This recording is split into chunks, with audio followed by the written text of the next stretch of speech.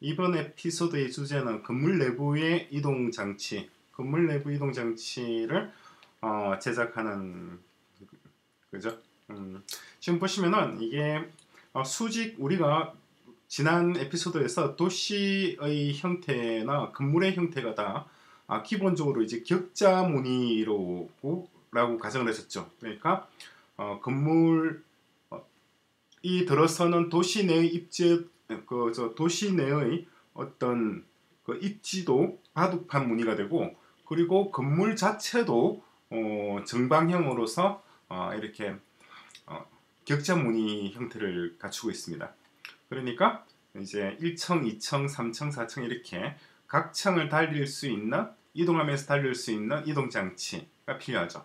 그래서 만들어지는 것이 이제 이 시스템인데 이제 건물 내부에 어, 특정 층을 이제 예를 들어서 보면은 이게 일종의 엘리베이터 역할을 하는 거죠. 사람이 타는 엘리베이터가 아니라 어, 화물을 수송하기 위한 어, 엘리베이터입니다. 이 녀석이 어, 상하로 오가면서 어, 얘가 탑재되어서 움직일 수 있게 되는 거죠.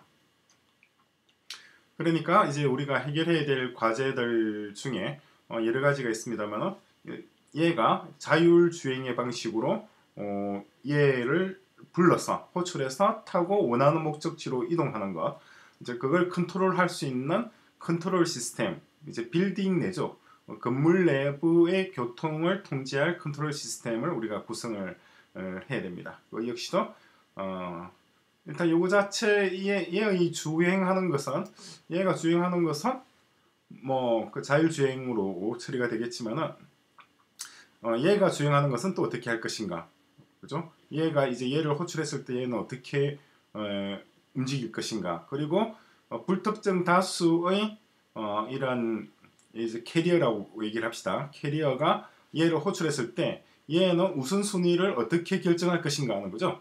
어, 누구부터 처리하는 것이 누구의 호출부터 처리하는 것이 어, 빌딩 내의 어, 물류 측면에서 가장 효율적인 운송이 될 수 있을 것인가 그런 이제 계획을 어, 수립할 수 있어야 됩니다.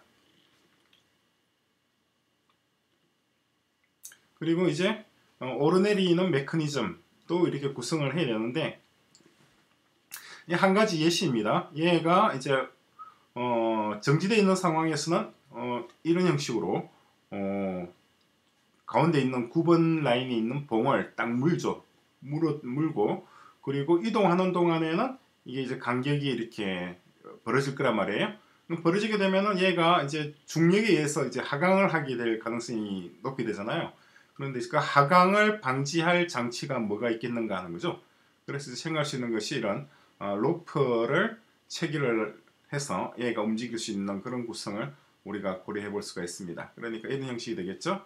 얘가 어, 봉에 결속되어 있을 때는 이러한 형태가 될 것이고 어, 이동 중에는 이러한 형식으로 어, 이격되는 물론 이 사이에는 어떤 어, 장치가 포함될 수 있겠죠. 그래서 어, 이번 그러니까 주제 에피소드는 크게 이제 요약하면은 어, 이거는 뭐 별도로 정리하지 않고 그냥 뭐 구술하겠습니다. 이제 이 모형을 제작하는 것이 어, 주제입니다. 실제 에, 동작 가능한 실물 모형 뭐 한 100분의 1 축소 모형으로 구성할 수가 있겠죠. 그래서 어, 이제 이 녀석들을 자율주행을 구현하는 것도 이제 관건이 되고 어, 다음에 이제 첫 번째 첫 번째 모형은 모형은 이거 한 대만 있고 이것도 하나만 있으면 됩니다. 두 개가 이제 오가고 이렇게 주행 어, 얘가 타고 바로 주행할 수 있는데 지금 보면 바퀴 방향이 어, 이쪽과는 직각이잖아요. 그러면 얘가 타고 이 방향으로 동서남북 중에서 이쪽 방향이나 이쪽 방향으로 움직일 때는 바퀴가 어떻게 이제 움직여야 될 것인가 어, 그것도 이제 우리가 고려를 해서 어, 제작을 해야 되겠죠.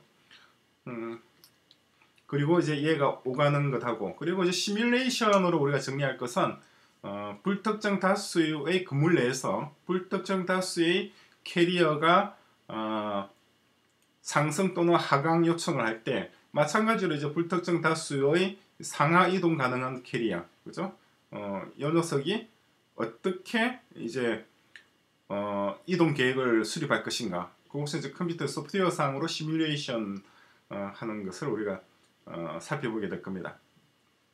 상당히 재미있는 내용입니다. 그러니까 건물이 예를 들어서 50층 건물이라고 가정하고 어, 이런 캐리어가 건물 내에 어, 50층 건물 내에서 뭐 100개가 설치가 되고 그리고 이 녀석이 어, 뭐 예를 들어서 1000개가 있다고 이제 하면은 이 100개의 수직 캐리어와 수직 이동 캐리어와 그리고 1000개의 수평 이동 캐리어 간의 조합으로서 50층 건물 내에 어, 거기 입주하고 있는 사람이 예를 들어서 만 명이라고 한다면 만 명의 만 명에 대한 어떤 물류적인 측면을 처리를 할 것인지 그것들을 이제 시뮬레이션하게 될 겁니다. 네, 이번에는 이거는 이제 하드웨어도 같이 제작하고 그리고 컴퓨터상으로 시뮬레이션도 같이 하고 하는 주제입니다.